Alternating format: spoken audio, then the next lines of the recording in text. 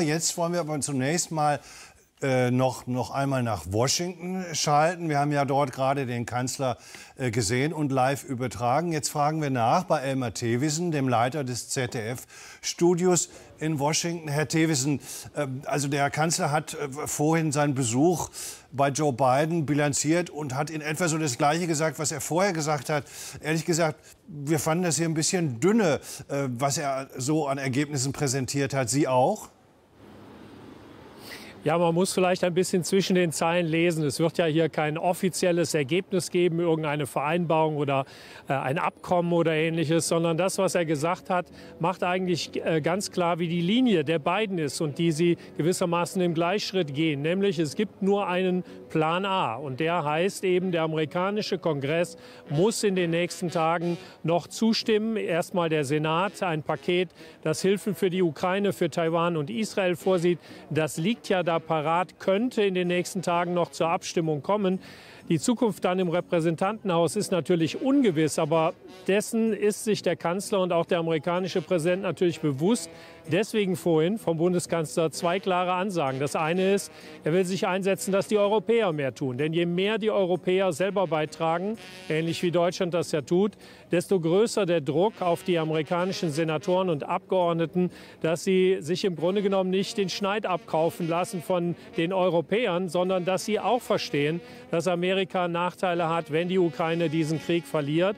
Das ist also das eine. Und ich glaube, der Kanzler hat auch klar gemacht, in sehr netten Worten, was passiert, wenn das nicht passiert. Nämlich, dann sind diejenigen, die sich gegen diese Ukraine-Hilfe entscheiden und sich dagegen stellen, das sind die Schuldigen.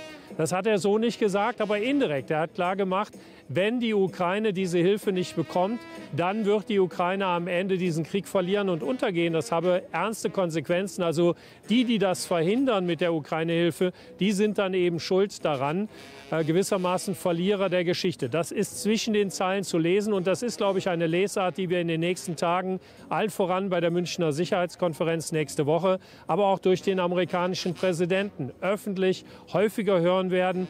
Der US-Präsident hat ja vorhin als er mit Olaf Scholz zusammensaß, einmal davon gesprochen, dass es eigentlich schon ein kriminelles oder fast kriminelles Versäumnis sei, dass die Abgeordneten eben nicht für diese Ukraine-Hilfe stimmen.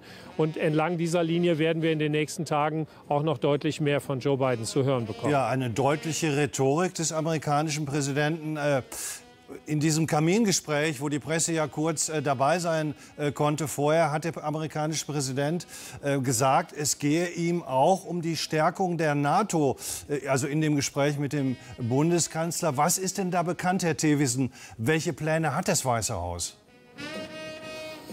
Naja, das Weiße Haus hat ein ganz großes Interesse daran, dass die Europäer wirklich Butter bei die Fische tun, also die NATO-Partner in Europa das 2-Prozent-Ziel tatsächlich erreichen und dass sie bereit sind, eben diese Lücke zu füllen, die die Amerikaner ein Teilstück auch lassen müssen, auch in den nächsten Jahren, weil sie schlicht und ergreifend sich auch um andere Probleme in der Welt kümmern müssen.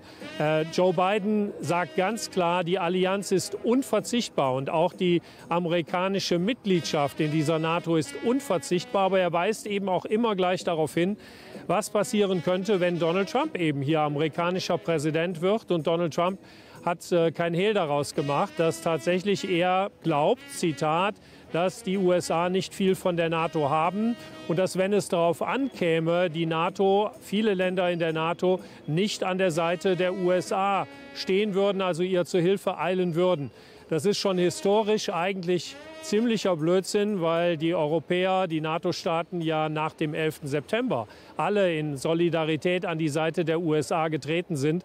Aber diese Lesart, die Trump verbreitet, kommt ein Stück weit hier an. Und deswegen gilt auch hier, je stärker die NATO-Mitglieder in Europa beitragen zur gemeinsamen Aufgabe, desto größer der Druck eben auch hier in den USA weiter in der NATO führend zu sein und möglicherweise sich auch gegen den Präsidentschaftskandidaten der Republikanischen Partei zu stellen, äh, Donald Trump, der ganz offen über einen möglichen NATO-Austritt redet. Sagt Elmar Thewissen, zugeschaltet live aus Washington. Herr Thewissen, ich sage danke für Ihre Zeit und danke für diese Analysen.